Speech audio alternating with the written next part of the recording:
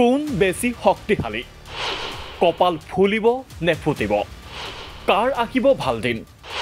সোণোৱালৰ নে হিমন্তৰ? দুহেজাৰ চৌবিছ চনৰ লোকসভা নিৰ্বাচনৰ ভোটগ্ৰহণ প্ৰক্ৰিয়া ইতিমধ্যে অন্ত পৰিছে। অহা চাৰি জুনত ওলাব ফলাফল। সকলোৱে এতিয়া আগ্ৰহেৰে অপেক্ষা কৰিছে চাৰি জুনলৈ। সমগ্ৰ দেশৰ লগতে অসমৰো মুঠ চৈধ্যখন আসনৰ বাবে নিৰ্বাচন অনুষ্ঠিত হ'ল।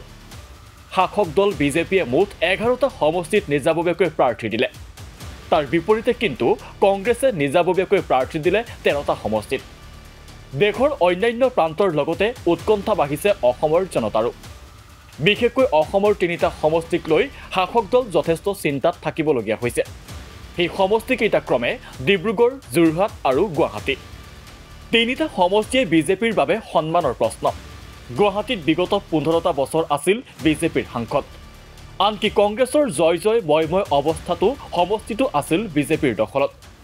এইবাৰ যদি বিজেপিৰ চৰকাৰ থকাৰ পাছতো কংগ্ৰেছৰ প্ৰাৰ্থী মীৰা বৰঠাকুৰৰ হাতত কেনেবাকৈ বিজেপিৰ বিজুলী কলিতা মেধি পৰাজিত হ'বলগীয়া হয় তাতকৈ লাজৰ কথা বিজেপিৰ বাবে একোৱেই নহ'ব।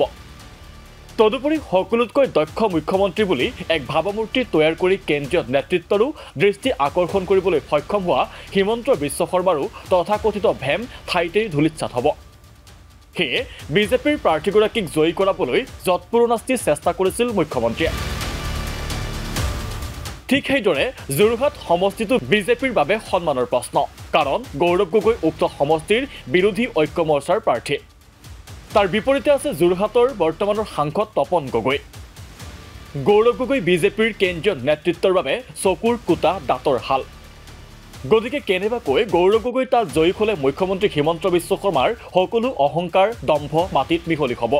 গৌৰৱ গগৈক হৰুৱাবলৈকে মুখ্যমন্ত্ৰীয়ে প্ৰায় এটা মাহ সমগ্ৰ কেবিনেটখনকেই যোৰহাটত বহুৱাই থৈছিল। আৰু বিজেপিৰ বাবে আন এক মূৰৰ কামোৰণি হ'ল ডিব্ৰুগড় সমষ্টিটো। এই সমষ্টিটোত বিজেপিৰ প্ৰাৰ্থী প্ৰাক্তন মুখ্যমন্ত্ৰী তথা কেন্দ্ৰীয় মন্ত্ৰী সৰ্বানন্দ সোণোৱাল। দুহেজাৰ ষোল্ল চনত মোদী মন্ত্ৰীসভাৰ এগৰাকী মন্ত্ৰী আছিল সৰ্বানন্দ সোণোৱাল। সেইবাৰ অসমত বিজেপিক ক্ষমতালৈ আহিছিল আৰু সোণোৱাল হৈছিল মুখ্যমন্ত্ৰী দুহেজাৰ একৈছ চনতো সোণোৱালৰ নামতেই ভোট বিচাৰিছিল বিজেপিয়ে। ইয়াৰ প্ৰায় ডেৰটা বছৰৰ পাছত সোণোৱাল মোদী মন্ত্ৰীসভাত অন্তৰ্ভুক্ত হ'ল।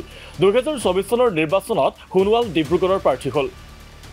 কিন্তু ডিব্ৰুগড়ত তীব্ৰ প্ৰত্যাহ্বানৰ সন্মুখীন হ'ল সোণোৱাল। বিৰোধী ঐক্যমঞ্চৰ প্ৰাৰ্থী লুৰিণজ্যোতি গগৈয়ে তীব্ৰ প্ৰত্যাহ্বানৰ সৃষ্টি কৰিলে সোণোৱালৰ সন্মুখত। বিভিন্ন সূত্ৰৰ খবৰ অনুসৰি সোণোৱালক বহুবোৰ জনগোষ্ঠীৰ লোকে ভোট দিয়া নাই। সোণোৱালে ঘাইকৈ কিছুসংখ্যক অনা অসমীয়া লোকৰহে ভোট লাভ কৰিছে। তদুপৰি গৰিষ্ঠ সংখ্যক যুৱ প্ৰজন্মৰ ভোটাৰৰ সমৰ্থন লাভ কৰিছে এসময়ৰ আছু নেতা লুৰিণজ্যোতি গগৈয়ে। ৰাজনীতিৰ ক্ষেত্ৰখনত সোণোৱালতকৈ যথেষ্ট কনিষ্ঠ হ'লেও কিন্তু লুৰিণজ্যোতি গগৈ ডিব্ৰুগড়ত যথেষ্ট প্ৰত্যাহ্বানৰ সৃষ্টি কৰিবলৈ সক্ষম হৈছে। এইফালে মুখ্যমন্ত্ৰী হিমন্ত বিশ্ব শৰ্মাৰ শিবিৰে সৰ্বানন্দ সোণোৱালক জয়ী হোৱাটো বিচৰা নাছিল যদিও মুখ্যমন্ত্ৰী শৰ্মাৰ দৰে এগৰাকী দক্ষ মুখ্যমন্ত্ৰীৰ দিনত এগৰাকী কেন্দ্ৰীয় মন্ত্ৰী পৰাজিত হ'লে ই সমগ্ৰ চৰকাৰখনৰ ওপৰত এক নয়ৰ্থক প্ৰভাৱ পেলাব। সেয়ে কাজিৰঙা দৰং ওদালগুৰি বৰপেটা কোকৰাঝাৰ শিলচৰ শোণিতপুৰ আদিৰ দৰে সমষ্টিত বিজেপিৰ প্ৰাৰ্থী জয়ী হোৱাৰ সম্ভাৱনা বেছি যদিও মানসিক চাপ কমা নাই বিজেপিৰ নেতৃত্বৰ। কেন্দ্ৰত যদি এই নিৰ্বাচনত এন ডি এ ক্ষমতালৈ আহে তেন্তে একো অসুবিধা নোহোৱাকৈ আগন্তুক দুটা বছৰ পাৰ কৰিব পাৰিব হিমন্ত বিশ্ব শৰ্মাৰ চৰকাৰখনে।